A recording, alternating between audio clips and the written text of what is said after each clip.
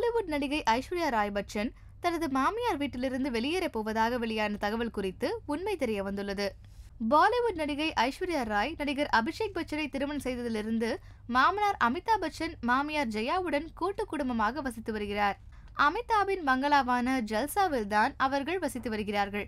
ஐஸ்வர்யா ராய்க்கும் மாமியார் ஜெயா பச்சனுக்கும் ஆகவே ஆகாது என்று சில காலமாக தொடர்ந்து செய்திகள் வெளியாகி வருகின்றது. இந்நிலையில் ஐசுக்கும் நாதா ஸ்வேதாவுக்கும் பிரச்சனை என்ற பேச்சு கிளம்பியுள்ளது. ஐஸ்வர்யாவும் அபிஷேக்கும் சேர்ந்து மும்பையில் ரூபாய் இருபத்தி ஒரு கோடிக்கு அபார்ட்மெண்ட் வாங்கியுள்ளனர். ஐஸ் தனது கணவர் மற்றும் மகள் ஆராத்யாவுடன் அந்த வீட்டில் தனி குடித்தனம் போக போவதாக செய்திகள் வெளியாகின. அபிஷேக் பச்சனுக்கு தனது பெற்றோர் என்றால் உயிர். அவர்களை விட்டுவிட்டு மனைவியுடன் தனி குடித்தனம் போக மாட்டார் அபிஷேக். இது ஐஸ்வர்யாவுக்கும் தெரியும். அதனால் அவர் தனியாக செல்ல மாட்டாராம். முதலீட்டுக்காக அபார்ட்மெண்ட் வாங்கியுள்ளார்களாம். முன்னதாக அபிஷேக் பச்சனுக்கும் பாலிவுட் நடிகை கரிஷ்மா கபூருக்கும் திருமணம் நிச்சயிக்கப்பட்டது. ஆனால் கரிஷ்மா திருமணத்திற்கு பிறகு தனி குடத்தனம் போக விரும்பியதால் அபிஷேக் அவரை பிரிந்து விட்டார் என்பது குறிப்பிடத்தக்கது. தேங்க்ஸ் ஃபார் வாட்சிங் please like and share don't forget to subscribers